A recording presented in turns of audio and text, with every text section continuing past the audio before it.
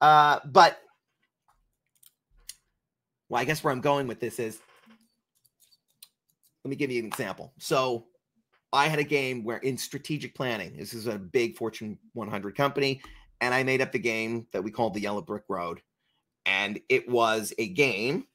How you played it was everybody in the room had to get through to the other side of this game map that I had created.